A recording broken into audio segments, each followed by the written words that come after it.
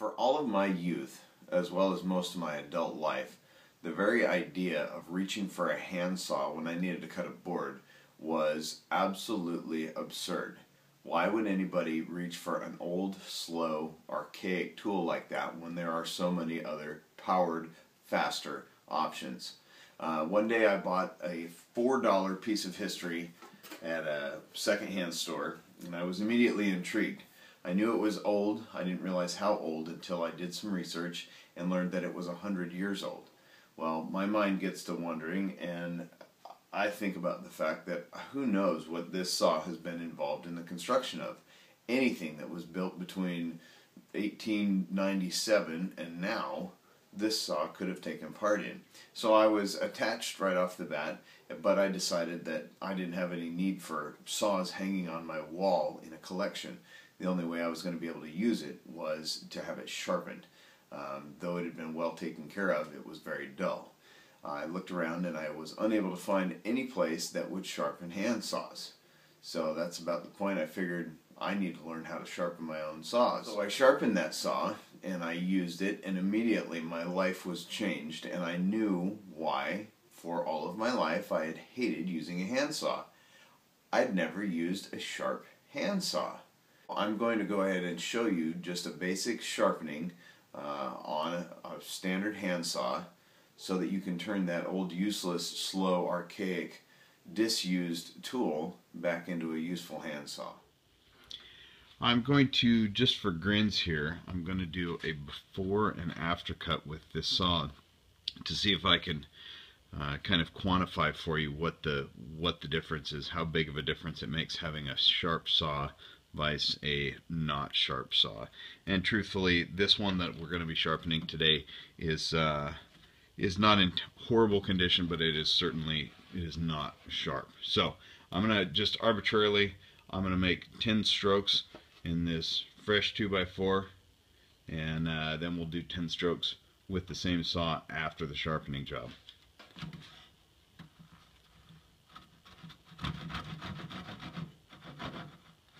These don't count.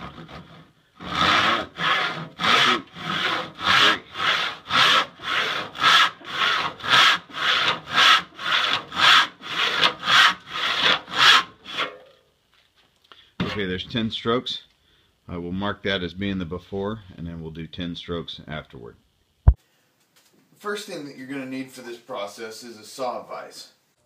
What do you mean you don't have a saw vise? Okay, okay, go ahead stop the video right now. Go back to the Flying Squid homepage, watch the video called Saw Vise, and then and then come back. I'll wait for you. Go ahead. Okay, so I'm just kidding. You don't absolutely have to have a saw vise to do this.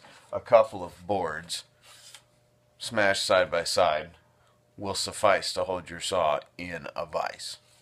Well, since I do have a saw vise, I'm going to put it to use. I'm going to slide the saw in the middle of it. I'm going to bring it up where the teeth are just a little ways above the level of the vise here. Then I'm going to clamp it into my bench vise. And next I will put a couple of clamps on it so that the saw blade doesn't vibrate and chatter as I sharpen it. There. The next item on the list is something that uh, this is one of the rare times you'll actually hear me say you have to have this tool to do uh, a particular job. This is a three-sided saw file. This one that I have here is a Nicholson made in Mexico Nicholson file that I think I give six and a half or seven bucks for at the local hardware store. You can't do this job without this tool. Everything else you can make do uh, but you have to have this file. Eventually this file will wear out, um, but it does pay to have a, a, good one. It will cut a lot nicer and you'll do a lot better job of sharpening your saw. Before we get any further down the road here, I want to give a slight disclaimer. Uh, I'm not a professional at doing this. I'm purely a dude who learned how to do some stuff. Uh, thinks it's pretty cool and, and I want to pass that knowledge on to some of you. Um, I have uh, learned everything that I know about sharpening hand saws by observing the master, Mr. Paul Sellers, uh, who has sharpened, I think, six or seven, maybe eight saws uh, in his day. Uh, if you want to really know how to do this in depth, you want to really learn about this kind of stuff, uh, click on over to Paul Sellers' website. I can't think of what it's called, but uh, type in Paul Sellers in either your Google search bar or your uh, your YouTube, and uh, and you'll come up with plenty of stuff to watch. You probably won't leave your screen for uh, a couple of days if you're into this kind of stuff. So I want to talk conceptually a little bit about how we're going to sharpen this saw. This is going to be uh, a general a general purpose saw. We're not making the distinction between uh, being a crosscut saw or a rip saw.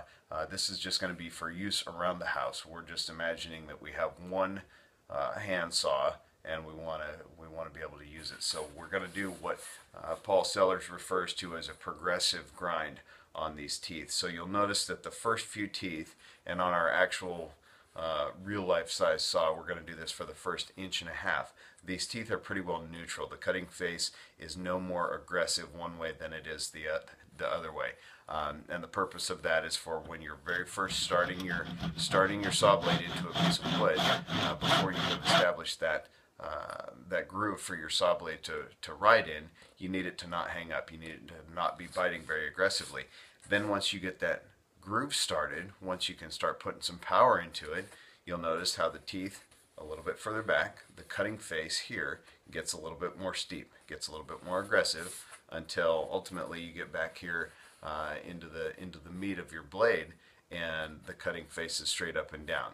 Um, as as you move from your from your steeper back to your steep blades uh, or steep cutting faces, that's where you're entering your power stroke where you where you're not concerned about it getting hung up because you're already established uh, in the stroke you're already established in the in the groove um, and the back here is where you're going to make your money once you start uh, once you start cutting with this. Another aspect that I want to touch on real quickly is the set of the saw blade. Now the set being the fact that if you look down the look down the uh, length of a saw blade every other tooth is bent outward and what that does is that creates a bit wider kerf than what the saw blade, uh, what the saw plate is. If the saw teeth were all straight up and down, if there was no set to it, then you wouldn't get very far before your saw blade would start binding up in the kerf just because it doesn't have, wouldn't have clearance to, to go through there. Um, most saws are going to have uh, some some set left in them, and therefore in this this particular go around of this process, we're not going to really dig into the saw setting, um, but you do need to look at your saw before you go sharpening a saw. Uh, look at it and just verify that it's not completely flat. If it is completely flat, uh, then then you're going to need to find some equipment in order to have it set. That's something that we'll likely talk about in a later video. But uh, this one right here, we're just going to concentrate on the basics of sharpening a saw blade. But I did want to at least touch on the saw set. I'm going to introduce the last tool that we're going to use in this process here and then we're going to go ahead and get to get to getting. So the last tool that you need, and this is another kind of, you're going to need this one, um, is a mill bastard file. Single cut mill bastard file. Single cut being that it's only cut in one direction. It's not crisscross cut. And bastard because it's somewhere in between a rasp and a super fine file.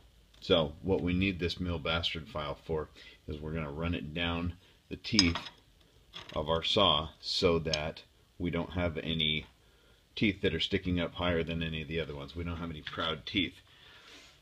In order to do this, what I have done is I took off the handle.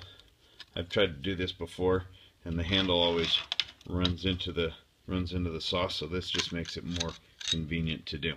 So here we go. Gonna run it right down the whole length of our saw. And take a look.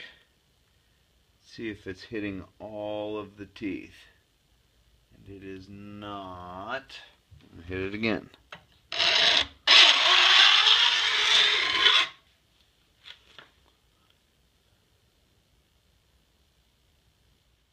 So what you should be looking for is a little shiny spot on the top of each tooth.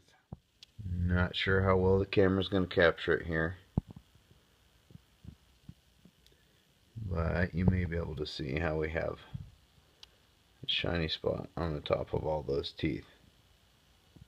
Since this saw is 10 points per inch, and I want to do the first inch with the uh, neutral rake to the to the teeth. For the first 10 gullets I'm going to have my file where the top is flat so that there's not uh, not more aggressive angle on one side or the other. So here we go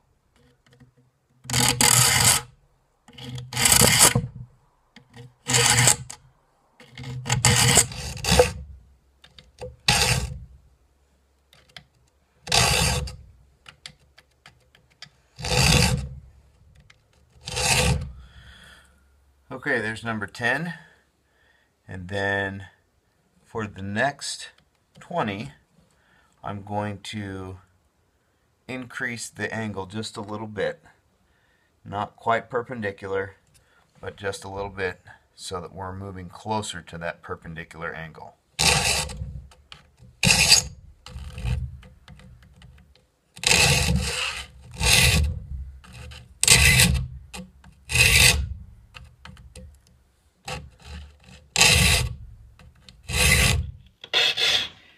So welcome back. We're about 10, maybe 15 minutes later here. And if it's 15, it's only because I had to stop a couple of times. My arm got tired. If you look down the length of the saw, after my arm's out of the way, you can see how it's all very shiny. Right? Pretty good indicator that you've got all the teeth. You can stand back and kind of look down it just to make sure that you haven't missed any. Not that missing one tooth is going to be a showstopper, but if you're going to take the time to do this, you might as well do it right. Last one. Okay. There we go. Sharp. Now it's time to see if all this trouble was really worth it. Here's our slot, 10 strokes before sharpening.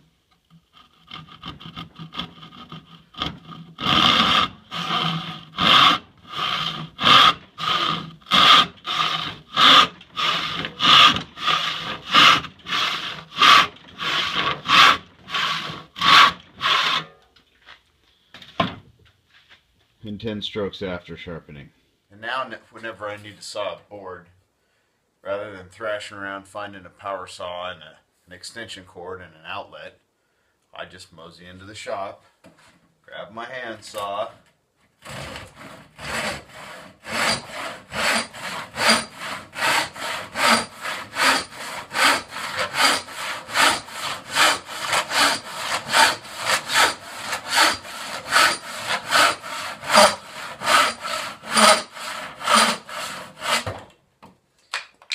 a sharp saw doesn't take long to do it all. Thanks for watching. I'll see you on the next video.